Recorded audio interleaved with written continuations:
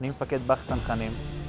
בעצם התפקיד המרכזי הוא להכשיר את הדור לוחמים ולפתח את המפקדים הבאים של חטיבת הצנחנים. אני חושב שהחירות אה, בימינו בזמן הזה, זה היכולת שלנו, הלוחמים, או כל מי שלוקח חלק בעשייה הצבאית, לאפשר חירות לעם הזה. יש ככה גישה חלוקה מעט, שאתה יוצא החוצה מביצוע של משימה, בטח מלחימה, ואתה מגלה שבחוץ מתנהלת שגרה רגילה. אני חושב שדווקא אנחנו צריכים להסתכל על זה בצד החיובי של הדבר, ושבזכות הלחימה והמלחמה שהדור הצעיר הזה מבצע ומבצע ממש הלכה למעשה את המשימות של הגנה על העם והארץ, וזה פשוט מאפשר חיים. אני חושב שהמסר המרכזי זה קודם כל להגיד להם תודה. לחבורה האדירה הזאת של הלוחמים צריכים להגיד תודה, הם עושים פה עשייה משמעותית מאוד.